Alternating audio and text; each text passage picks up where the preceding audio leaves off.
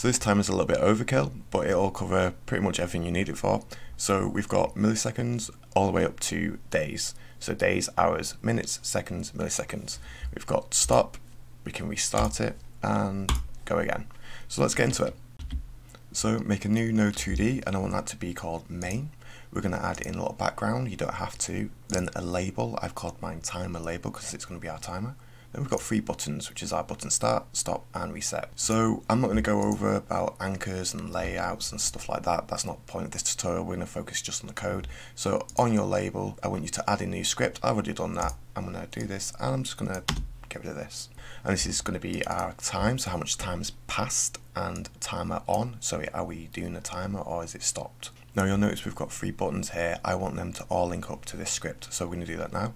So go to your button start, node, signals and pressed in your timer label and do the same for the other two. So when the start button is pressed we want the time to be on, when it's stopped we want it to be off and when we reset we want time passed to be back to zero. To do the time we're going to have to update the time on the process so by default, this is going to be off until we press the button start. But when we press the button start, we're going to time plus equals delta. The reason we're using delta is because if your computer is really fast, your time would increase really quickly. And if it was slow, it would increase really slowly. Delta makes sure that time between frames are always accurate between different computers.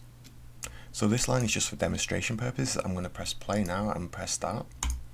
You'll notice this is what the time is going to be and we need to format that in a way that's readable to a human eye. So that's what we're going to focus on next. So to extract mins and seconds we use something called fmod. Let's go to that now. So if we read this it's returning the float remainder of a divided by b keeping the sign of a. That's kind of hard to just understand. So let's go back to the script. When time is updated, you'll notice that it was updating almost in seconds. So we know that there's 60 seconds in a minute. So in seconds, we don't want it to be say 71 seconds. So using the fmod, we can make sure that this wouldn't ever go to say 61, 62, 63, it should go back to zero. And that's what this will do. If I was to change 60 to 70, it would actually go all the way from 61 up to 70, and once it goes past to 71, it would actually be zero. So minutes is a lot more complicated. We've got 60 times 60 divided by 60. It's, it's hard to understand. So we know that there's 60 seconds in a minute and 60 minutes in an hour. And what I'm going to do is divide by 60. So what will happen is when minutes goes to 61, it'll go back to zero again. Before we process the rest, like the days, minutes and hours, uh, we're just going to make sure this works first. So time pass is actually a string and what we're going to do is get the minutes and seconds and we're going to format them so it makes sense. So you can see 0, 2, so we'd have minutes can't be 103 for example. The same with seconds. Get the text off the label and set it to this string. Let's make sure it works. So if I press start, wait for one second, there we go. I'm not going to wait for a full minute, but trust me, it does work, and we'll do a demonstration later. So let's do milliseconds. If I'm being 100% honest, I don't understand how this works, but it does work, and um, I found it in a form. If I find the link, I'll put in the description below. Let's update time passed. And because milliseconds can have three places, we want to do the 3D. Let's make sure that works. So this is basically the tutorial. This is what most people want, right? We want to have the milliseconds the seconds and the minutes and that's it. So I'm going to carry on, project will be in the description below, so let's continue. So let's do hours. As you see it's quite a bit of a beast. So this highlighted section is actually 60 times 60 is 360, so we know that's an hour, and we know that there's 60 minutes inside an hour, then we're going to divide it by an hour, so it's same as this one above, but instead of minutes we're doing hours. In this fmod, because we don't want it to go over 24, it should go back to 00, 0, we put 24 here. And finally, day. So this number here is actually 3600 times by itself. And then this number is actually 3600 times 24 so you, what's happening is for every 24 hours day is increased by 1 so let's include a day in hours. So at the beginning we want to just copy and paste this.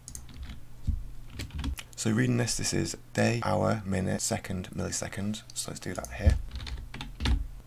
Now if we press play the only way of knowing if it's going to work right is if we wait for a full day. However, we don't want to do that, so we can actually emulate this. So one way of doing that is that we change the time from zero to a number, right? We know this is an hour, at least it should be. So to make sure hour's working, what you do is do this. We want to give ourselves five seconds, so so this should be five seconds till it's a full hour. Let's play it. As you can see, we've got five seconds.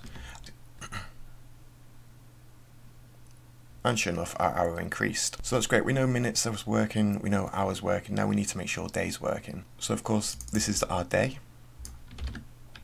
Let's change it so it's got five seconds again.